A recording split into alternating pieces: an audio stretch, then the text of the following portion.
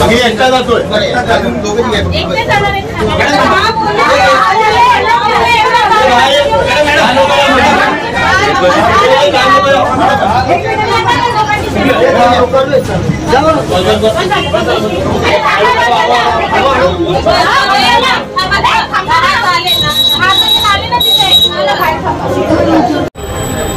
नमस्कार दोस्तों दोस्तों, इस समय मैं खड़ा हूँ वसई विरार महानगर पालिका मुख्यालय के बाहर। जैसा कि मैंने एक वीडियो डाला था और आप सभी को मालूम है, वसई विरार महानगर पालिका मुख्यालय पर आज मनसे के पालगढ़ थाने जिलाध्यक्ष अविनाश यादव अपना आंदोलन कर लेके बैठे हुए और महानगर पालिका आयुक्त के कार्यालय के बाहर सुबह बैठे थे तो अभी फ़िलहाल वो वो अतिरिक्त आयुक्त के कैबिन में बैठे हुए हैं। सुबह ग्यारह, साढ़े ग्यारह बजे के करीब मनसे पालगढ़ जिलाध्यक्ष यहाँ पर आए और उसके बाद से अभी साढ़े पाँच बज करीब बज चुके हैं। पाँच से छः घंटे हो गए, वो अभी भी धरने पर बैठे हुए हैं। साथ ही साथ उनके कुछ सहकारी लोग आयुक्त के घर पर धरने पर बैठे हुए हैं। ऐसा आज आयुक्त साहब आए नहीं थे, आयुक्त की तबीयत कुछ खराब बताई जा रही है, उसके लिए आयुक्त आए नहीं थे तो यहाँ से इनके कुछ सहयोगी लोग मनसे के आयुक्त के घर गए और वहाँ कर उनके घर के वहाँ बाहर बैठे हुए हैं। तो ये मसला कहीं ना कहीं जो प्रभारी सहायक आयुक्त गिनसन गोंसालिस को निलंबित किए जाने की मांग का जो मसला है। ये काफ़ी तूल पकड़ता दिखाई दे रहा है। अभी फ़िलहाल इस पे क्या होता है, अभी भी मनसे नेता वहाँ पर बैठे हुए हैं। इस पे आगे क्या होगा, वो भविष्य की गर्त में है। अभी पूरी ये घटनाक्रम आप देखिए जो हुआ है, अभी के लिए इतना ही, नमस्कार। बोर्डाच्या उद्घाटनाला मी गेलो असता, आमच्या पक्षाचे झेंडे काढले गेले. तर मी तिथल्या जे कोणी संबंधित अधिकारी होते विचारलं की तुम्ही आमचे झेंडे का काढले? कारण तिथे बाजूला इतर पक्षांचे बॅनर आणि झेंडे लागले होते. तर मत होतं की परवानगी नाही तर त्याच्या विरोधात काल महापालिका काही कर्मचाऱ्यांनी मनसेच्या विरोधात काळ्या फिती बांधल्या होत्या. सो आज मी वसई विरार या परिसरामधले पाचशे अनधिकृत बॅनर जे दहीहंडीपासून नवीन वर्षापासून वाढदिवसापासून असे अनेक पाचशे बॅनर्स त्यांचे लोकेशन आणि आत्ताची वेळ असे पाचशे बॅनरचे फोटो आणि काही झेंड्यांचे फोटो हे आयुक्त साहेबांना दाखवायला आलो होतो. आणि जर एवढीच तत्परता तुमचे कामगार कर्मचारी आमच्या झेंड्याच्या बाबतीत दाखवत होते मग या पाचशे बॅनर जे लागले ते काढताना त्यांना ती तत्परता का दाखवता आली नाही? एका पक्षाला एक न्याय आणि दुसऱ्या पक्षाला दुसरा न्याय असं का? त्याचबरोबर काल महापालिकातल्या काही कर्मचाऱ्यांनी जे काही आंदोलन केलं ते चुकीच्या पद्धतीचं आंदोलन आहे. तुम्ही चुकीच्या माणसांना पाठीशी घालता असं माझं मत आहे. कारण एखादा माणूस एका पक्षाचा एक झेंडा काढायला तात्परतेने जातो. आणि दुसरे सहा सहा आठ आठ महिने झेंडे लागलेत बॅनर लागलेत त्याच्यावर कोणी लक्ष देत नाही. सो चुकीच्या माणसाला तुम्ही पाठिंबा देताय हे दाखवण्यासाठी मी आज इथे आलेलो आहे. मी पाचशे बॅनरचा एक फोटोचा बंच सोबत घेऊन आलेलो आहे आणि तो आता अतिरिक्त आयुक्तांना दाखवलाय. आमची मागणी आहे मुळात ते आंदोलन जे झालं ते जे घडलं होतं ते असं होतं की आमची जिथे बोर्डाचं उद्घाटन झालं तिथे अनेक मोठ्या प्रमाणात मार्केट आहे माझी मार्केट आहे. तिथलं या अतिरिक्त जो जो कोणी अधिकारी आहे त्याला प्रचंड मोठ्या प्रमाणात हप्ते सुरू आहेत. आणि मनसेचा तिथे बोर्ड लागल्याच्या नंतर कोणीही पैसे देणार नाही हे त्यांना माहिती होतं. आणि त्याच त्याचीच एक भीती सगळ्या लोकांमध्ये त्यांना घालायची होती. आणि म्हणून मनसेचे झेंडे काढवण्यात काढण्याचा त्यांनी तो प्रयत्न केला होता. त्या संबंधित अधिकाऱ्याच्या भागामध्ये प्रचंड मोठ्या प्रमाणात अनधिकृत बांधकाम सुरू आहे.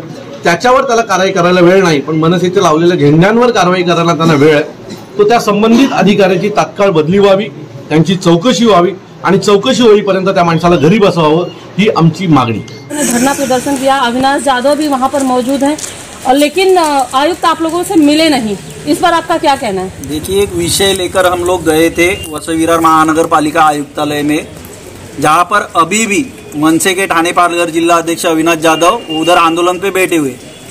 अभी जब भी वार्तालाप शुरू था तभी अतिरिक्त आयुक्त का स्टेटमेंट ऐसे आया कि आयुक्त किधर है उनसे कांटेक्ट हो नहीं रहा है।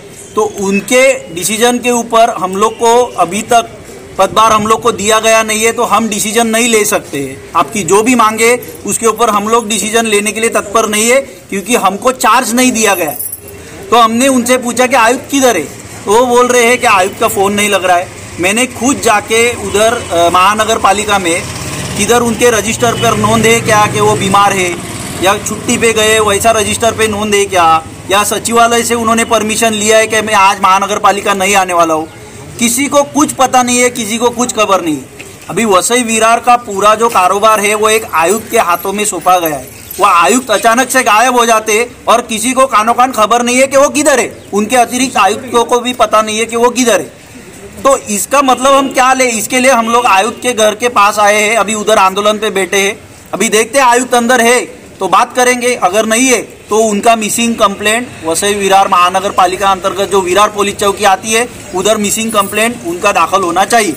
क्या लगता है आपको कि जानबूझ के ये छुट्टी पे गए हैं या सच में इन, ये बीमार देखो मैडम अभी वो जानबूझ के गए हैं असल में बीमार है तो उसका किधर ना किधर तो नोटिफिकेशन रजिस्टर में होना चाहिए।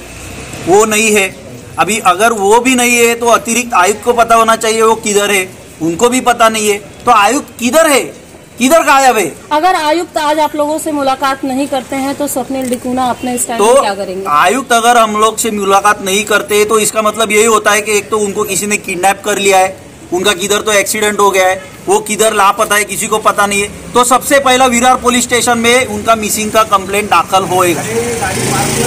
और अगर उन्होंने छुट्टी लेने के लिए किधर भी उनका एंट्री हुआ नहीं है रजिस्टर में एंट्री नहीं है, सचिवालय से परमिशन लाया नहीं है, अगर ये सब नहीं किया गया है तो आयुक्त खुद अपनी कुर्सी छोड़ के लापता होने की वजह से आयुक्त के ऊपर कार्रवाई की मांग होगी, वो भी सीधे मंत्रालय में। क्या कारण है कि मन से जब जब किसी आंदोलन में सम्मिलित होती है या आंदोलन करती है तो आयुक्त ही गायब हो जाते हैं?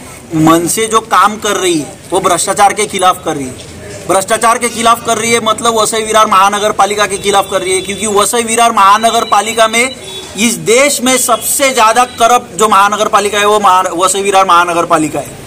इनके ऊपर हम लोग ने पानी का घोटाला निकाला, रोड पे ऊपर गड्ढे गिरते, उसका घोटाला निकाला सहायक आयुक्त अनधिकृत बांधकाम के पीछे कैसे वसूली करते हैं उसका घोटाला निकाला। अभी मार्केट के अंदर जैसा वसूली होता है, उसका घोटाला निकाला।